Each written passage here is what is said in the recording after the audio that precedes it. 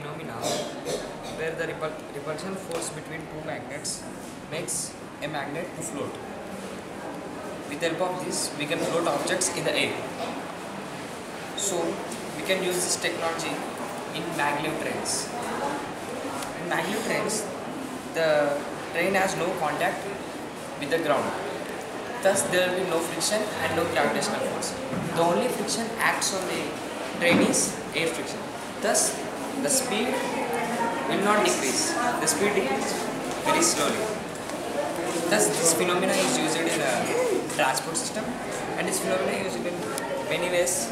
Like uh, in uh, olden days, uh, Konark Temple, the Sun Temple, where the idol was uh, floating in the air.